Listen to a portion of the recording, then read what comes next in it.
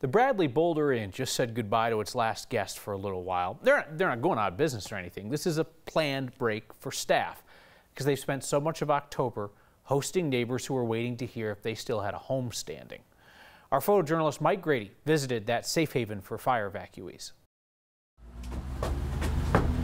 This downtown Boulder area, you know, we're a tight community.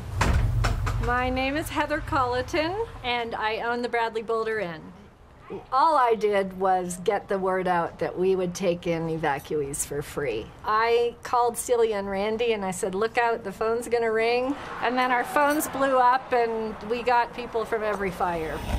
We just took them in and we took care of them and gave them a warm place to stay. We took their pets and um, you know, we don't even take pets here at the Bradley, but we took their pets. He brought in his bulldog that was three years old and was literally like as wide as he was long. He was just a sweetheart, and he became kind of our, our mascot for the whole time. So that was Chunky the bulldog. People were just in probably the worst. I am going to start crying if I have to do this. This is too sad.